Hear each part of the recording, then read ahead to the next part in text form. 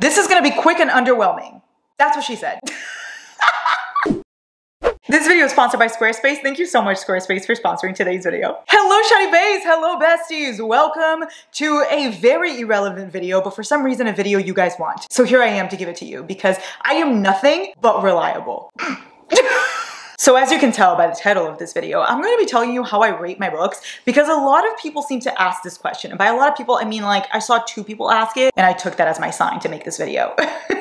I apologize if this is extremely not informational at all because my rating system is not, it's not the best. Let me just be honest right now. A lot of people have better rating systems than me, so maybe you shouldn't go by mine, but this is just how I do it. Don't yell at me. So let's begin at number one obviously. So when I rate a book a one, that just means that either I hated it with every fiber of my being or I didn't even finish it. So if I read like 60% of the book and I called it a day, that would be a one star. Or if I read the whole thing just because I wanted to say I finished it and still rated it a one star, that means the book had no redeemable qualities whatsoever. That means I hated that book with everything inside me. Like I wouldn't recommend that book to anyone anyone. Honestly, I'm a big fan of DNF lately. I used to never DNF because I would be like, oh, I have to finish this book. But life is too short to be reading books you don't like. So once I realized that, I was like, wait, if I'm not enjoying it, I could just not finish? That's possible? I started doing that. And those would be my one stars.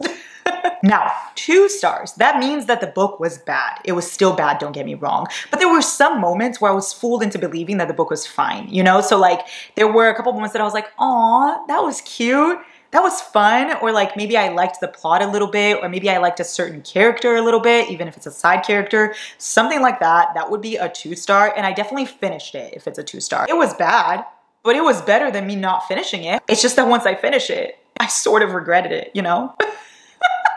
Those are like the regrets. Now I don't really know how many books I've rated 2.5 but I know there have been some and if it's a 2.5 that just means that it was a little bit higher than a 2 so it was bad. But it was like bad with a side of good. You know what I mean? There was like a little feature in there of a good moment, of a moment that I was like, ooh, this book is fire. And then I turned the page and I was like, no, this book is actually a dumpster fire. I actually need to throw it away. That would be a 2.5. I'm also the kind of person that if I don't like a book, I forget everything about it. I remember every detail of my favorite books. But if I don't like a book, I will probably not even be able to tell you the character's name. I most likely don't remember anything because I need to leave room in my brain for the books I like. You know, the logic is there. Don't argue. Then we have my three stars. Okay, my three stars are very hit or miss. Listen to this. A lot of people say three stars are like horrible. My three stars are not horrible, but they're also not amazing. They're very much in the middle, a balance, mid. Those are the books that I did finish, the whole thing, and I did enjoy myself, but I will never be thinking about it again. I will not be going back to this book. Once I put it back on my bookshelf, it is dead to me. I most likely forgot some of it. It just didn't do anything for me. It was just like, oh, it was entertaining for the time that I read it, and now I will leave it be.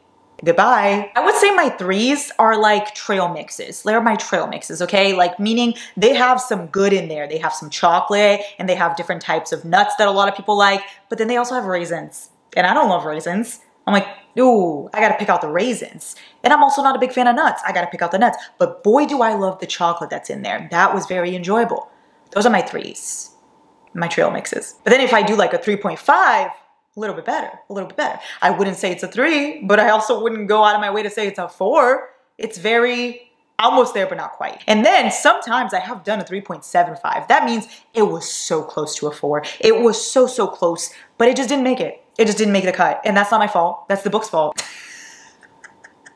then you have the four stars. Those are good. I liked those books. Even if I didn't love those books, I liked them. They were definitely enjoyable. I had a good time reading them. There may be certain things that I didn't agree with or certain characters that I didn't like. Maybe the plot was a little all over the place. I didn't love the writing, but it was still a book that I enjoyed and I don't regret reading it whatsoever. I would even recommend it. I would recommend it to a lot of people. Maybe I would recommend it to like somebody that's just starting to read for the first time because it was like a fun book. Or maybe I would recommend it as like a, a beach read, like you're just at the beach and you need something that like is mindless and you don't have to pay too much attention to. That would be like the four stars. I still recommend those and it's books I really did enjoy. I, it's not top tier, but I liked them. I also do 4.25s. that would mean it's better than a four, but it's not quite at a 4.5. It is just good, almost great, but not there yet. You know, again, I would still recommend it, but it's not a book that I'm going to be thinking about forever. I'm not going to stamp it on my forehead. I'm not going to tattoo it on me. It's just one of those that I was like, oh, I liked that book. And if somebody asks me if I liked it, I'll say, yeah, I liked it but I won't be talking about it forever. I won't make it my whole personality. I also have 4.5. 4.5, it was almost there. It really, really was. It was almost at a five, but there were some things about it that didn't cut it. I didn't like every aspect of the book. Not every page was laced with a very thin layer of crack. No, maybe every other page was laced with a little bit of crack, but not every page. You know, it was almost there but certain things I didn't love. Maybe the ending, a lot of the times I read a book 4.5 if the ending was rushed, but I did love everything else about it if it's a 4.5, you know? I also have 4.75. That is, ooh, you almost made it, but you didn't, but you didn't. Don't think you made it because you didn't, but you were almost at a five. There was one little thing about you that I didn't like. You're not the most perfect book of all time, but you were so close. You really were. You were so fucking close. You just, you just didn't make it. You know what I mean?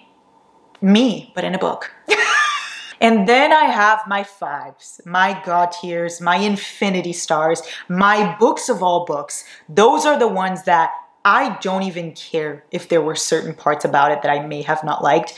It was so good that I can't even fathom not giving it a five. I can't even I can't even think of a world where I wouldn't give this book a five. For instance, Addicted Calloway, right? The entire series in itself for me is definitely a five-star series. Where there's some books in the series that were probably like a 4.75, 4.5, whatever, sure. But the series is so fucking good to me that the whole thing is a five.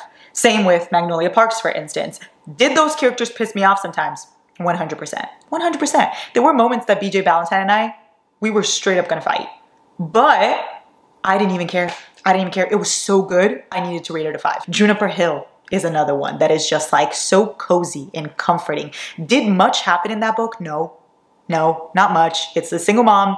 She falls for a chef. That that's pretty much it. And guess what? I don't care. I don't care. Plot? Where? I don't know but I also don't care because it was so good. I needed to rate it a five. Five stars are my god tier books. If you would like for me to do a video of all my five star reads, I can do that for you. I am not as picky as a lot of people are. Like it might seem like I am with these ratings because there's so many levels to them, but I go by vibes. Like if the vibes were there, if I was having a fantastic fucking time, and I loved the characters and I adored like what the book gave me. There could be some mistakes in it that I was like, oh, that's annoying, but I would probably still give it a five star because I loved it that much. I am such a big character person that I very much overlook plots often. So yeah, I go by how much of a soft spot I have for the characters, how much the book made me happy while I was reading it, and how often I'll be talking about it and if I'm gonna make it my whole personality and vibes. You can't forget the vibes because that would be the most important part. Shawty Bays, before you leave, I have to talk to you about Squarespace. Squarespace is basically an online platform where you can create your own website or domain. It has gated members only content where you can connect with your audience and generate revenue. You can send email communications, you can manage your members, and you can leverage audience insights all in one place. With Squarespace, you can create your own community where you can show likes, shares, reply. You also have amazing extensions where you can promote products, streamline bookkeeping, and manage inventory. You can also connect it to your social media and display posts from your profiles. And if all of that sounds interesting to you, Shawty Bays, you can go to squarespace.com for a free trial. And once you're ready to launch, you can click the link in my description, use my code for 10% off your first purchase of a website or a domain. That's it.